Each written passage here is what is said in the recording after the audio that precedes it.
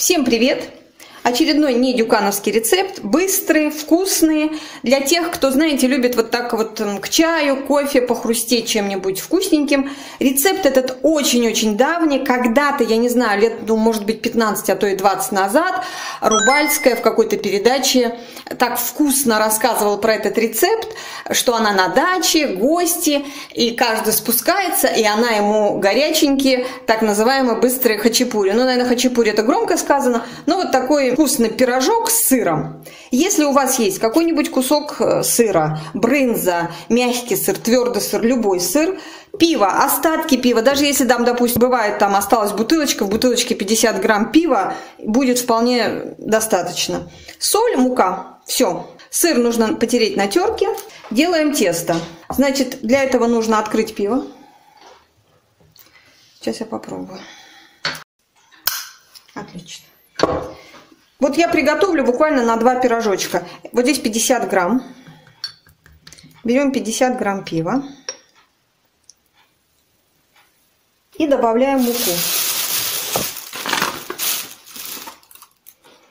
Так, одна ложка. Две ложки. Пока вот так. Добавляем соль. Соль в тесто обязательно. И начинаем замешивать. Тесто должно быть чуть мягче, чем вот вы делаете на пельмени, на манты, на лапшу. Если переборщили с мукой, добавьте немного пива. Или вы можете добавить буквально там чайную ложку растительного масла и собрать тесто. Вот у меня в принципе тесто готово. Я сейчас его вымешу и оно готово. Все. Ну вот видите, оно еще прилипает к рукам, поэтому я добавлю еще, ну вот еще не полную ложку. Ну да, не полную ложку и вымешиваем. Вы можете использовать э, ну, большое тесто, если семья большая. Я сделаю вот буквально на, 2 человека. И вот это такая вот порция, 50 грамм пива, это вот если, ну, понравится, то есть, ну, попробуйте. Я думаю, что понравится. Все, сейчас домешаю тесто и покажу, что дальше. Ну, в общем, тесто у меня слегка отдохнуло, где-то минут 15. Мы ходили кормить кошку, котят прошлогодних. Эти еще этого года маленькие. Если кто не видел, у нас в инстаграме есть такое небольшое видео, совсем крошечные котята. Так, теперь нам нужно натереть сыр. Сыр, напомню, любой. Вы можете, знаете, даже сделать начинку. Творог с зеленью. Можете сладкий творог сделать. В общем, фантазии. Ну, вот совсем немножко. Грамм, наверное, 30. Лучше, вот больше всего мне нравится с брынзой сулугуни, вот такого вида сыр. Теперь тесто нужно раскатать.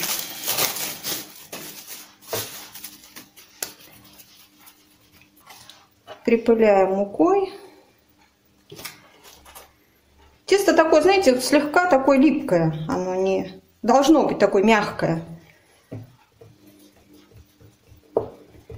И, в общем, раскат. Вы можете, знаете как? Вы можете сделать вот отдельными какими-то пирожочками. Вы можете лепешку какую-то сделать. Ну, вообще, я покажу, как мне удобно. Раскатываем достаточно тонко. Вот у нас есть недавнее совсем видео, может быть, кто-то пропустил. Вот сейчас период такой простуды, кашель, если у кого-то. Вот на самом деле, вот у меня есть одно из там последних, предпоследних, может быть, видео, рецепт от кашля, это овес на молоке. Вот посмотрите обязательно, вот попробуйте, сделайте. Я вот болела в январе, и мне это средство очень помогло. Все, вот, вот такое тесто. Можете так еще его немного руками. Чем тоньше тесто, знаете, будет вкуснее, такой хрустик будет в общем, как я люблю. Кто-то любит, может быть, пышное тесто. Делайте дрожжевое. Выкладываем сыр.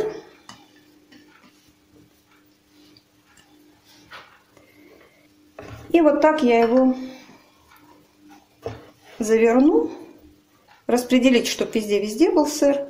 Вот если он даже где-то там протечет, где-то появится, там в сковородку он выплавится, будет очень вкусно. Дайте вилочку. Вилочкой проткнем, чтобы весь воздух вышел. И я еще раз прокатаю скалкой. И вот, вот на такие произвольные части разрежу. Вот так.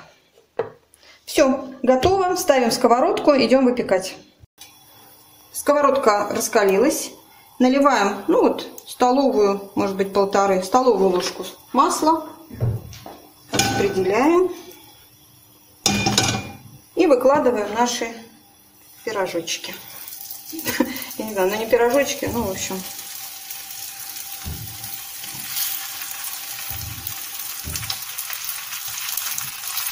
И с двух сторон, буквально там по, по две минутки.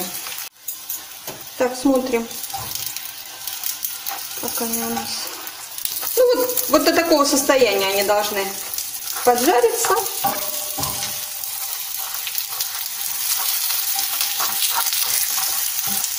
Вот так. И оставляем еще ну, минутку. Ну вот смотрим. Вот уже, в общем-то, готов. Но я люблю, чтобы были такие зажаристые, поэтому еще раз переверну. Все, и выключаю сковородку. И они доготовятся сами. Вот такие, я их называю хачапури, но это, конечно же, не хачапури. Вот такие пирожочки с сыром у меня получились. Вот, вот такая вот вкуснота. Попробуйте, я думаю, что понравится вам, вашим деткам. Можете с кофе, с чаем, намазать там вареньем сверху. Это на самом деле очень быстро, просто. Сделайте и не пожалеете. Я всем желаю приятного аппетита, всем здоровья, пока!